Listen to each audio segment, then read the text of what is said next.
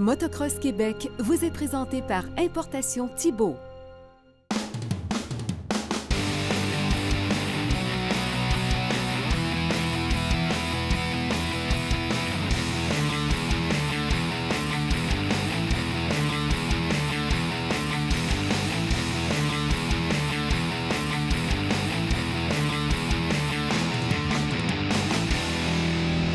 Salut tout le monde, j'espère que vous allez bien. Bienvenue à l'émission Motocross Québec, live à Télémag. À mes côtés, vous le reconnaissez, c'est Matt Buteau, un gars qui a plus besoin de présentation, un gars dont la réputation le précède. Ça fait longtemps qu'il est dans le milieu. Salut Matt, ça va? Salut, ça va très bien, oui. Yes. Hey, euh, il y a bien des affaires dans le motocross. Il y a des pros, il y a des inters, il y a plein de catégories. Des gens qui font ça depuis qu'ils ont 4 ans, ça fait 20, 25, 30 ans.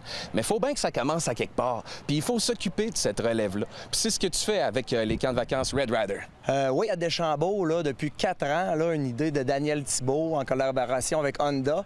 Euh, les camps de vacances pour initier là, les jeunes pilotes. Possibilité de louer la moto. Euh, on peut, tu peux arriver là puis avoir zéro équipement, rien. Puis Dan s'occupe de tout. On a du fou. linge. Oui, on a du linge pour toi. On a la moto, euh, autant la petite 50cc que la grosse 250. On offre des camps de jour de 4 à 5 jours par semaine et quelque chose de bien encadré. Là. On a des gens qui sont là le midi pour la nourriture, des gens qui sont là le soir pour les activités. Système de douche. Le, le site est vraiment là, complet pour les camps de vacances. Du côté de Matt, Matt Buteau pardon, et de toute sa gang, on transmet les passions, on passe le flambeau pour la jeunesse et pour la relève. Merci beaucoup, Matt. Euh, notre émission spéciale sur les camps de vacances Red Rider à Motocross Québec, c'est tout de suite, ça commence avec Matt Buteau.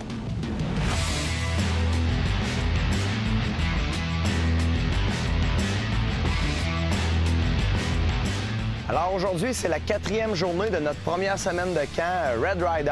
Le réveil a été un peu plus difficile là, pour certains de nos élèves. Euh, Les gars ont fait beaucoup de motos. Les gars et les filles ont fait beaucoup de motos là, depuis le début de la semaine. Ce matin, séance vidéo. On écoute euh, des vidéos avec les élèves, leur montrer un peu les techniques des, professionnels américains. Les conditions également, il y a eu de la pluie durant la nuit, donc on retarde un peu là, pour commencer sur les motos. Ici, à Motocross Deschambault, là, les jeunes ont la chance d'être sur un des plus beaux sites de motocross au Canada. On a trois pistes offertes à eux. On a la piste nationale, la grande piste qui est bien connue de tous. Également la petite piste, euh, la piste Pee-Wee, plus en forêt. Une piste de vélo le soir. On a un feu également le soir pour les enfants. Et sous la ligne d'hydro, plus loin derrière moi, on a euh, une piste qu'on appelle la Beer Track parce que c'est en forêt. Et là, on a deux circuits de fait pour aller pratiquer différentes choses avec, euh, avec les enfants. Parce qu'il faut dire que c'est un camp de vacances et non un camp élite de performance. C'est que les jeunes, pour la plupart, sont ici pas pour devenir des, des pro-riders, mais pour euh, enjoyer là, le sport de la moto et tout en apprenant quelques techniques de sécurité parce que la moto, pour que ça soit le fun, il faut que ça soit sécuritaire, pour que ça soit le fun longtemps.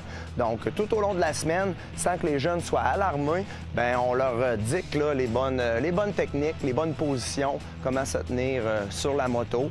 On a la chance d'être ici, à Deschambault, je le répète, l'un des plus beaux sites de motocross au Canada.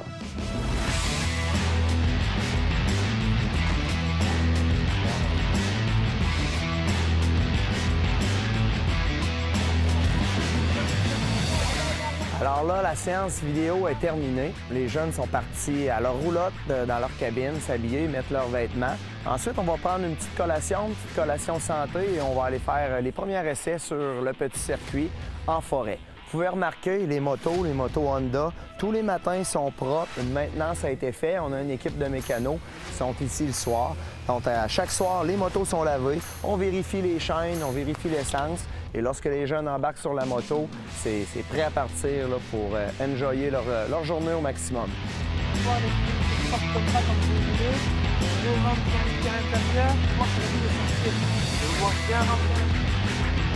Alors, on a la chance d'avoir euh, un pilote euh, qui vient de l'Europe, un pilote européen de motocross qui est ici pour les camps de vacances.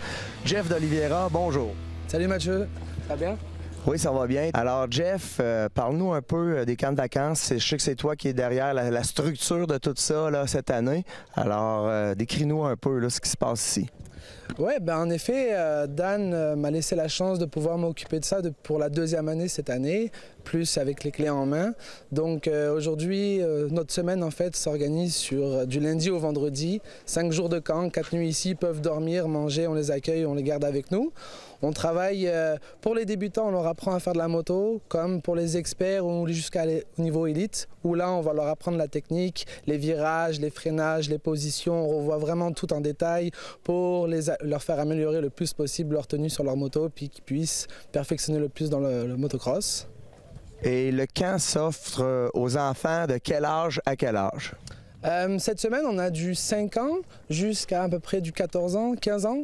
Donc euh, c'est vraiment ouvert à tout public, euh, aux plus petits, ceux qui commencent sur les Piwi, les Mini 50, jusqu'à les 450, 250 sans problème. C'est vraiment ouvert au grand public.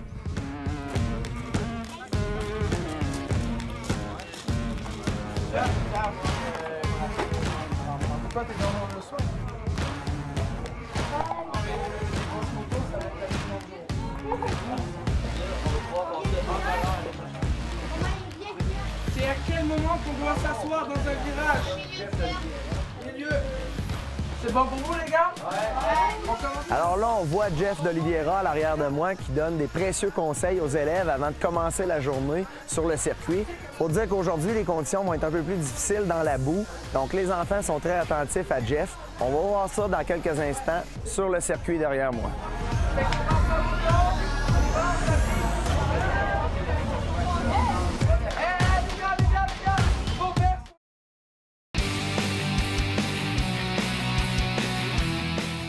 Nos jours, euh, sur nos motocross, la plupart, on installe un compteur d'heures. Question de voir le nombre de temps qu'on pratique, de suivre aussi nos maintenances, nos changements d'huile sur nos motos.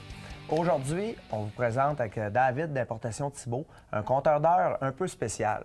David, présente-nous le compteur d'heures Get. Oui, c'est un compteur d'heure, mais c'est beaucoup plus qu'un compteur d'heure aussi. Euh, c'est un compteur d'heure qui va améliorer la sécurité de votre moto aussi, dans le sens que euh, vous avez une application que vous pouvez downloader sur votre téléphone qui va être sur euh, iOS ou Android, et puis qui va envoyer un système d'alarme, ben, un message d'alarme à vos contacts d'urgence si jamais vous arrive quelque chose entre elles. C'est qu'il y a un accéléromètre à l'intérieur de ce compteur d'heure-là aussi. Puis, si vous prenez un accident en sentier, votre moto est couchée sur le côté pendant un certain laps de temps, ça va envoyer un message d'urgence à vos contacts d'urgence avec les coordonnées GPS. Donc, ça améliore la sécurité pour euh, les gars qui font de la trail seuls, puis, euh, ou en snowbike encore, ça peut être euh, quelque chose qui, est très, très, très pratique. En plus de ça, ça va vous donner des signaux sur votre cellulaire pour l'intervalle de vos changements d'huile, toutes des petites Oh, choses comme ça. fait que euh, c'est un compteur d'heure vraiment, vraiment amélioré. Un compteur d'heures intelligent. Intelligent, si on veut, on est dans l'ère de l'intelligence. Euh, Puis c'est pas tellement plus cher. Un compteur d'heure, on parle d'environ 60 Si on parle de 120 je pense que ça vaut vraiment la peine pour euh, à peu près tous les riders qui vont faire du off-road, de, l'enduro ou euh, ce genre de discipline-là. Merci beaucoup, David. Rendez-vous sur importationthibault.com pour avoir plus de détails sur le nouveau compteur d'heures Get. Cette chronique vous a été présentée par Importation Thibault.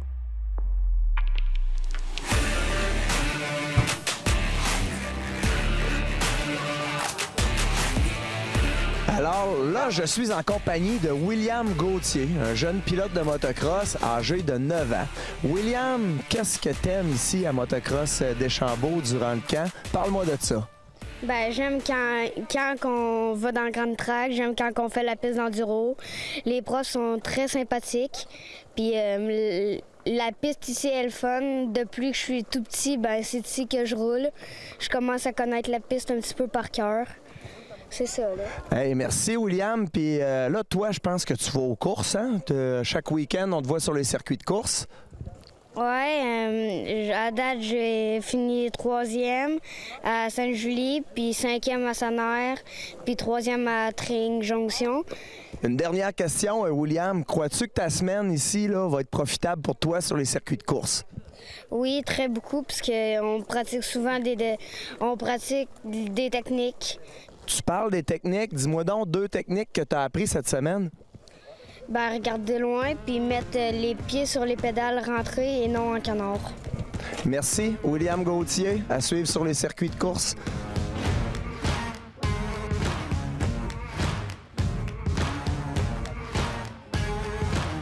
Fait que vous avez vu le terrain, comment il est? C'est profond. Ça veut dire que si vous restez encore assis, je me répète et encore et encore, on part à la glisse et on va sortir les pieds automatiquement, puis c'est là qu'on va tomber.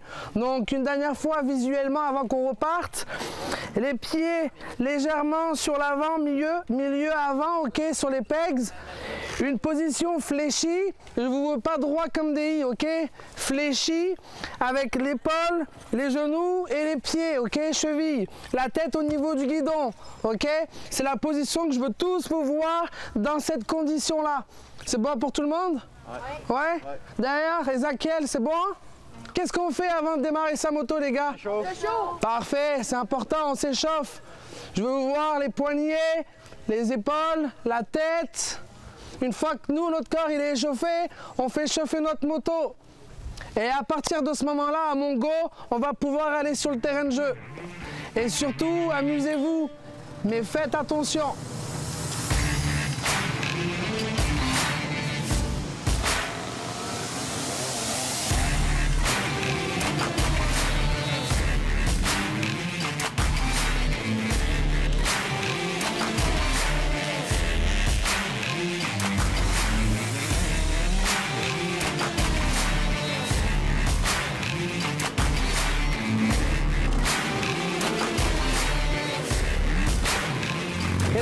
Large, large, viens ici.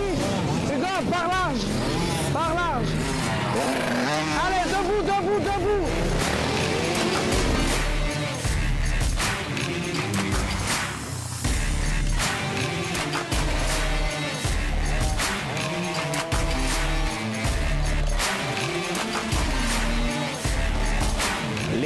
Essais de la journée sont commencés pour nos jeunes sur le circuit. Comme on a mentionné plus tôt, les conditions sont pas excellentes, mais tout semble bien se passer là, avec les excellents conseils euh, de Jeff d'Oliveira derrière moi. Regarde de loin, regarde de loin. Super.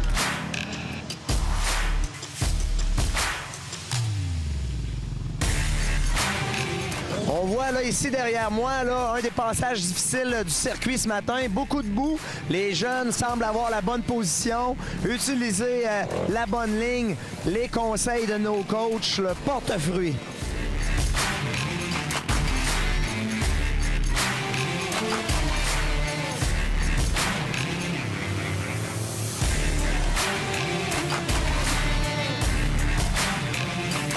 Possible, louer la moto, louer l'équipement pour le camp de vacances. Voyez les jeunes qui arrivent derrière moi, c'est tous des motos Honda. Ici à Deschambault, on a 45 motos disponibles pour la location.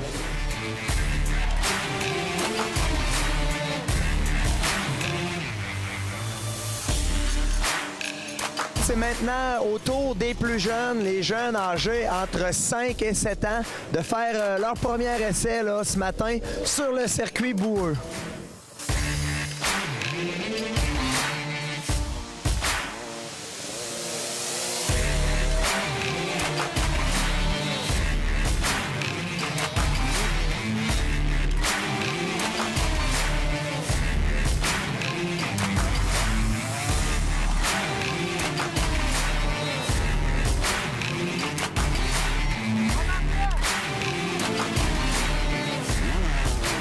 Ici Linéaire.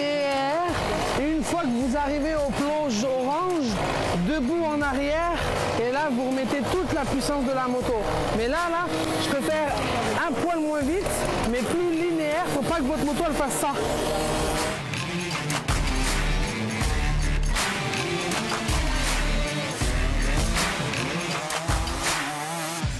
William Gauthier, la première pratique est faite. Parle-moi des conditions un peu ce matin. C'est très boiteux, puis euh, ça glisse beaucoup. Est-ce que tu as le goût de continuer à faire de la moto quand même dans des conditions comme ça? Ouais, oui, parce que ça pratique, puis euh, des courses, c'est pas tout le temps sec, sec, sec. Des fois, il y a peut-être de la boîte, puis c'est peut-être en glace. T'as bien raison, ça qu'on te souhaite une bonne journée de pratique au camp Honda Red Rider ici à Motocross de Chambault.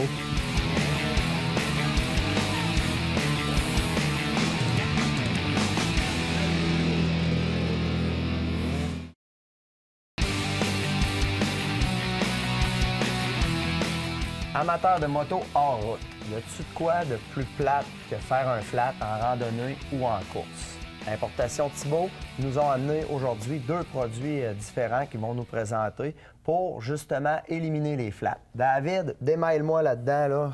Qu'est-ce qu'il y a sur la table? Bien, tout d'abord, on va commencer par euh, le Tubeless, qui est un produit qui commence déjà à être connu. Il y a beaucoup d- d'adeptes qui roulent avec ça. Euh, L'avantage du Tubeless, c'est que ça va nous permettre d'ajuster notre pression de pneus euh, à des très basses pressions qu'on ne pouvait pas avant sans faire de, de crevaison. Euh, la manière que le système fonctionne, c'est qu'on a une petite tripe à l'intérieur avec un autre genre de pneu qu'on va mettre à l'intérieur de notre pneu. Ce que ça va faire, c'est que ça va sceller tous euh, les trous où ce que les broches passent au travers. Donc, euh, on peut après ça rouler sans tube, autrement dit. Ça rend notre roue tubeless. On peut baisser la pression, donc aller chercher une meilleure traction au niveau des roches, des racines, des choses comme ça. Fait que ça, très populaire chez les, amateurs d'enduro. Si on parle d'installation, moi, je suis habitué de changer un pneu avec une tripe conventionnelle. Est-ce que je vais être capable d'installer ça dans ma vas être roue? capable de- d'installer ça. C'est sûr que c'est pas de tout repos à installer. Par contre, un coup que c'est installé, on le laisse là-dedans tout le temps. puis On peut juste changer notre pneu. Donc, euh, à long terme, ça, rend la- ça nous rend la vie plus simple. Super. On a aussi l'autre solution qui est euh, la nitromousse, OK? Euh, qui va complètement éliminer euh, la chambre à air et même euh, le tubeless. Euh, L'avantage avec ça, c'est que c'est impossible de faire une crevaison avec ça. Ça va remplacer votre chambre à air. C'est une genre de mousse euh, qui va équivaloir à euh, une pression d'environ 10-12 euh, livres de pression, ce qu'on utilise d'habitude sur les circuits de, de motocross. Oui, oui. Par contre, on ne peut pas l'ajuster avec ça. Fait que ça, c'est le désavantage. Le gros avantage, c'est que c'est impossible de faire une crevaison. Jamais vous allez perdre une course à cause d'une crevaison si vous utilisez ce type de produit-là. Merci David pour ces bonnes explications. Tu as fait un flat le dernier week-end de course? Rendez-vous sur importationthibault.com. Deux choix s'offrent à toi. Cette chronique vous a été présentée par Importation Thibault.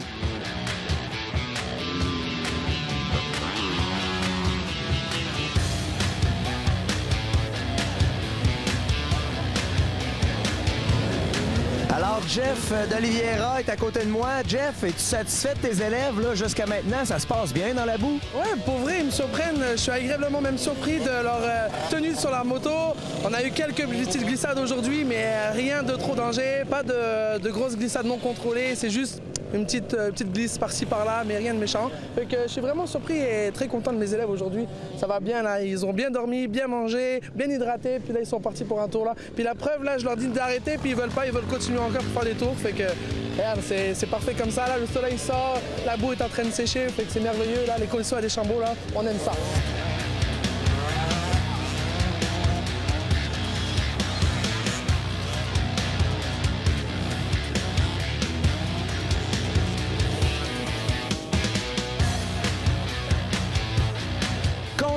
Ce matin sur le circuit euh, aménagé. Là, on va se rendre en forêt dans la piste d'enduro, voir qu'est-ce que ça a de l'air. J'ai hâte de voir ça.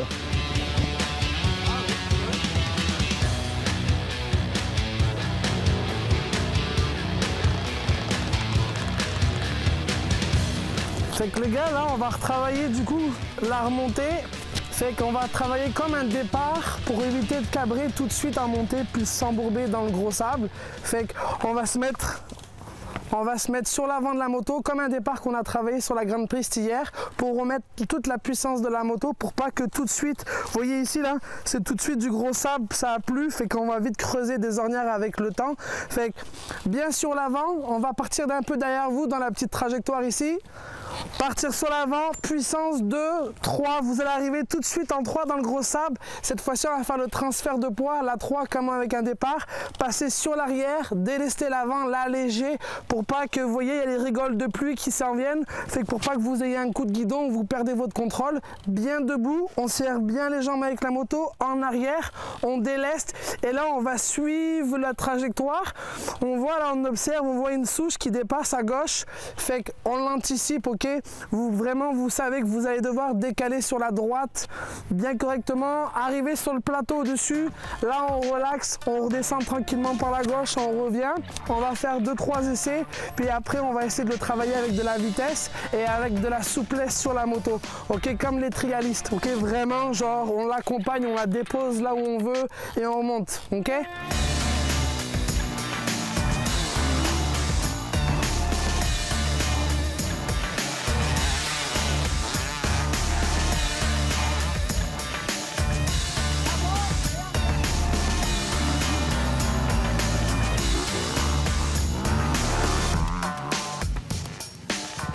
Sur la moto, ok Moins raide.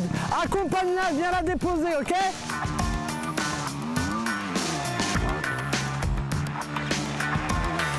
Donc, comme on voit, là, le camp est ouvert euh, à tous et toutes les conditions. Tantôt, Jeff a offert à son groupe, ceux qui voulaient venir, ça a été laissé à eux d'eux-mêmes. Là, on a quatre personnes qui ont décidé de venir euh, essayer la piste d'enduro cross dans les conditions boueuses de ce matin. Et les gars mettent le technique en application. Et ça va très bien. En début de semaine, on avait de la difficulté à monter cette côte.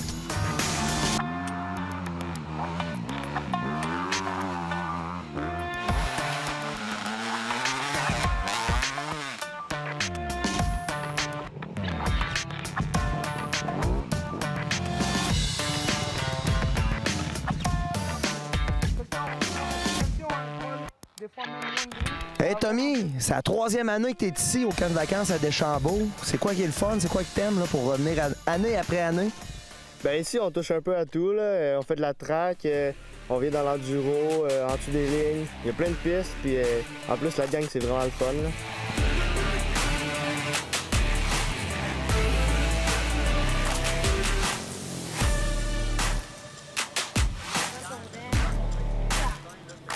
Alors, je suis en compagnie de l'homme derrière euh, le superbe site ici. Daniel Thibault, bonjour. Salut Mathieu. Daniel, les camps de vacances Honda Red Rider, de plus en plus d'inscrits, ça prend de l'ampleur année après année. Oui, définitivement. euh, le programme Junior Red Raider existait quand même depuis une quinzaine d'années. Mais euh, Honda Canada ont décidé de ne plus s'en occuper et de nous donner ça au parc. On est trois parcs au Québec, les, les Junior Red Raider. Fait qu'entre autres Deschambault pour la grande région de Trois-Rivières, de la Mauricie, puis de Québec, puis la Rive-Sud. Puis, euh, depuis trois ans, ben, on a mis énormément de- d'emphase sur les écoles, les camps. On a monté des infrastructures pour accueillir ces gens-là. Parce que moi, ma vision ici avec Motocross de Chambault est un petit peu différente de plusieurs parcs. Euh, je veux ramener du nouveau monde dans ce sport-là et, pour ramener du monde qui sort de- des sports euh, du soccer, pour nommer un sport comme ça, euh, ça prend des infrastructures, ça prend des, des- des- des endroits que c'est propre, que les gens se sentent bien accueillis. C'est ce que j'ai travaillé énormément fort depuis deux ans pour avoir un vrai camp de vacances, un site pour accueillir les parents, les enfants qui se sentent en sécurité toujours, puis qui se sentent bien. Puis on a la chance d'avoir Honda Canada qui sont derrière nous là-dedans. Euh, on a plusieurs motos, on a au-dessus de 50 motos, puis euh, je te dirais qu'on en manque. La demande est très forte. Justement, on en fait venir de Toronto aujourd'hui. On en a six autres qui descendent de Toronto. Euh, puis Honda est un gros joueur majeur dans l'industrie qui nous fait confiance ici à Deschambault. Puis ça ne cesse de, gro- de grossir. Fait qu'on est vraiment fiers de ça. Puis on va ramener du monde dans le motocross en faisant ça de cette manière-là. Puis euh, faire connaître le sport. En terminant, Daniel, l'événement à ne pas manquer, l'événement national revient encore cette saison depuis 2012 ici à Motocross Deschambault. Les dates cette année. Les dates, le, National Amateur Eken Shotzox, il se déroule euh, du 30 juillet au 2 août. Euh, et le National Rockstar Energy, présenté par Honda Canada et Motul, se déroule le samedi, le 3 août. Euh, cet événement-là aussi nous tient très à cœur. C'est la cerise sur le Sunday, c'est le championnat national, c'est l'happening au Québec de la plus gros événement de motocross au Canada. Puis, euh, cette année, comme nouveauté, on a une zone VIP qu'on va aménager l'autre bord de la rivière de façon à ce que les spectateurs voient à peu près 75% du circuit avec des cadeaux qui vont être attribués par Rockstar Energy.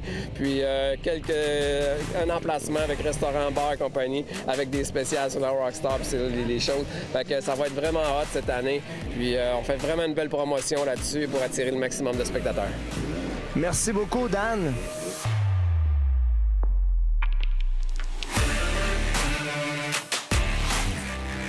Alors voilà, comme je le dis toujours, chaque bonne chose a une fin et c'est déjà le moment de terminer cette merveilleuse journée au camp de vacances Red Rider avec Matt Buteau. Matt, merci de nous avoir fait le tour, de nous avoir montré tout ça, vraiment très intéressant. Merci beaucoup, puis merci à toute l'équipe de Télémag d'être là euh, dans le sport, d'être là week-end après week-end. C'est c'est vraiment bon pour notre sport, c'est bon pour notre relève. Ça que merci à toute l'équipe, merci d'être présent aujourd'hui à Deschambault. Nous autres aussi, ça nous tient à cœur. Et je vous rappelle que c'est toujours possible de revoir l'émission d'aujourd'hui via télé-mag.tv ou encore le motocrossquebec.tv. Et pour ce qui est de nous, on se retrouve la semaine prochaine, même jour, même heure, même poste. Salut tout le monde. Motocross Québec vous a été présenté par Importation Thibault.